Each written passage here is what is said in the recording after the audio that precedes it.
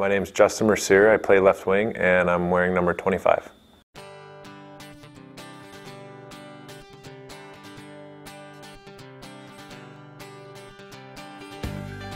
Uh, well, I'm from a small town, not so small town in Pennsylvania, Erie.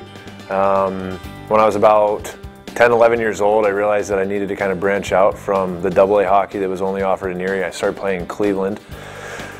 Played for the Barons there, AAA, went through the Detroit route, played for Honeybaked, CompuWare, moved away from home.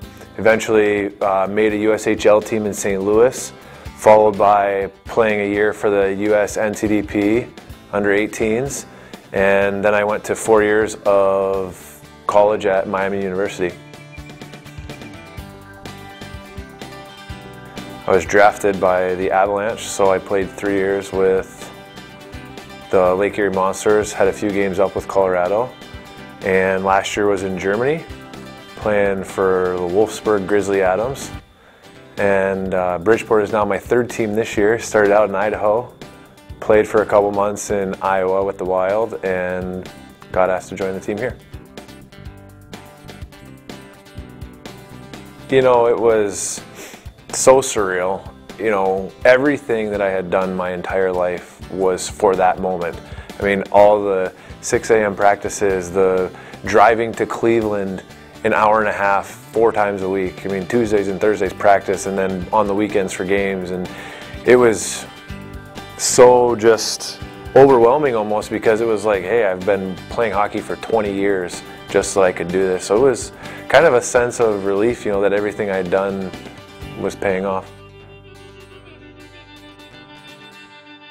Yeah, you know, kind of funny. I was laughing because I think the actual real time between my two shifts on ice was probably like an hour and 45 minutes.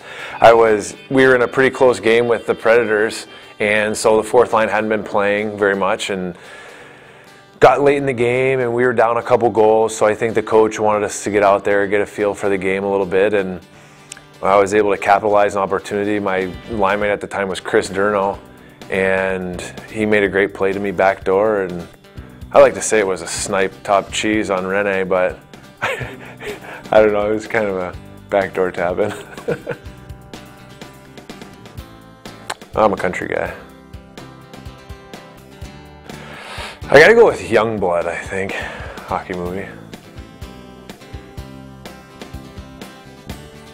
If I had to be an athlete, I'd probably pick golf, but I studied finance in college and I'm actually pretty interested in the stock market, so I'm sure I'd be doing something along those lines.